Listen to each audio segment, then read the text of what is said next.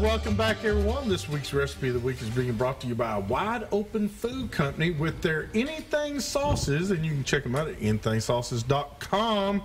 They have everything that you can see or, or that you can put some. Uh, really, Dayton? Really? I'm Dayton. I'm trying to do a show here, buddy. I really looked am. away. I, I what is the deal away. here? I looked away. Hey, Marty. Now, now you didn't get any help whatsoever from your better half tonight. Huh? You know how it is. Uh, yeah, I, I, I do. Mine's late. I know, right?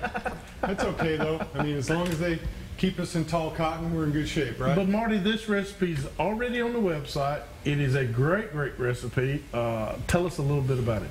Well, we've got the darn good meatball panini sub for you. It is unbelievable. And we had a, a friend of ours, ours help us out. Someone's in the kitchen, Charlotte. Yes. Helped us out because we're at the Southern Women's Show this weekend. So we've been blowing and going ever since we got back from Florida. But I got to tell you, Hugh, we love the fishing down there too, just as much as we do here. Went on a drift boat out there. The kids were catching snapper. Uh, one kid caught a big old kingfish and he won the pot. So I didn't win the pot on the boat, dang Oh, it. man. Barely had gas money to get home. You know Did how you it steal is. his fish, though? That's no, the most he- important part. He was, he was a good kid. They actually had visited Nashville, and we got to talking to him because he had a Nashville Good. shirt on, so it was pretty neat. But yeah, this is a real easy one to make, and darn good is so amazing on these meatballs. oh, yeah. We use them when we sample out there at the show and stuff. So if you're coming down to the Southern Women's Show, find us at booth number 1125, and we'll feed you some of this great food that we make with You our bet. anything sauces. So we say anything for everything. It's good on all this different food. But there's your darn good right there. You just take it and you put it on the meatballs. You can slow cook them in the, in the slow cooker, of course, or you can you can brown them in the oven or a pan a little bit first. Kind of makes it like browning hamburger. It gives it that Yeah. extra little meat flavor, you know. And what we really love about it how quick and easy it is if you're you know busy mom or whatever you can make this and have the kids make their own meatball subs when they get home from school or something you know That'd be you good. just throw 'em- they just throw them on, on the bun you throw it on the bun with some with some cheese whatever your favorite is we use pepper jack on these which kicks it up a notch you know what i'm saying we like a little bit spicy and all that Yeah. and then actually when you when you add on uh, the meatballs onto your sub, you put a little bit more darn good on top of them so it's not too dry. Melt that cheese on there real nice and we use our sweet kick coleslaw, whatever your favorite coleslaw is folks, but we use the sweet kick right here. We make the coleslaw, it makes it real easy. Whip it out of the bag from Kroger where you can find these sauces as well. You know, good old anything sauces are in the Pick Tennessee section. So you can grab those while you grab your coleslaw and your and your hoagie rolls, or you can use a yeast roll. And a pretty easy way to kind of you know throw it all together. It makes a great you know dinner, snack, great lunch. Uh, you can throw 'em- throw them together, and then you can picnic them to the boat. Let's try yeah, let's try one of the meatballs on a hook. Maybe that'll work, right? Dayton. I ain't throwing the light. Yeah, we ain't giving them up, right? And, uh, and you Dayton's just- not even going to give one of them up. you, you know how it is when you when you throw down this stuff, man. You're gonna have to you're gonna have to fight them off the plate. You're not gonna be able to get one unless you hurry up and eat some yourself. You know. That's so, awesome. I mean, Hugh, Hugh wants to take these right now, so I'm gonna have to just. you didn't want to. You I'm gonna have to fit hide these over here and you know kind of put some protection around them. You know. And, I no, you're, you. you're welcome to have I them all. hear you, 'cause Marty.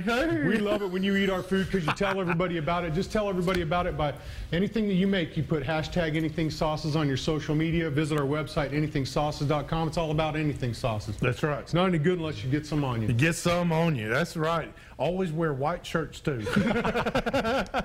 hey, uh, you can check this recipe out along with many, many others on our website at southernwoodsandwaters.com.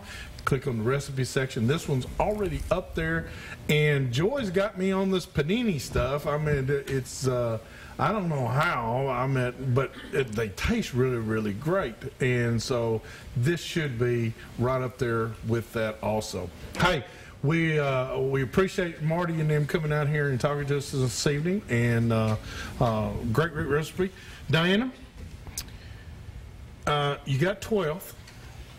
You beat three.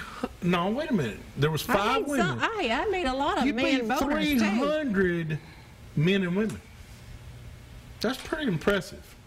Now, did you feel good on the last day? Did you, or was your nerves just because you didn't do as good on your third day as you did the first two because of weather conditions? Yes, weather. Did that worry you? It, it did. It worried me a little bit, but I, I, the- you know, I caught the second fish, and I was like, I got I a was, chance. I was a little relieved, you know, because I had two, and you can only have three. I can only have three, so I was a little relieved, and I felt pretty good. And then the last day, he was sight fishing, and I got nervous. yeah. And I and he t- and he told me I had a great boater, Kip Carter.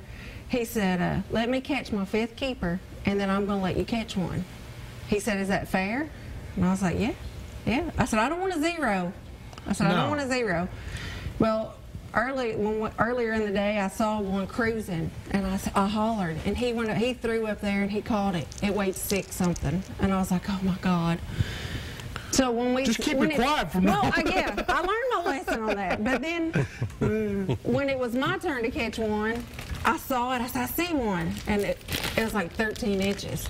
I was like, man, Well. I said something about the wrong one. But you know what? He was really patient. He worked with me about catching it on that, how to keep flipping in there. He said, "You're making it mad." I said, "It's making me That's mad because it's do. taking too much time." That's what you got to do. And, and I'm going to tell you something, ladies and gentlemen. When you see those bedded fish, uh, stick with it.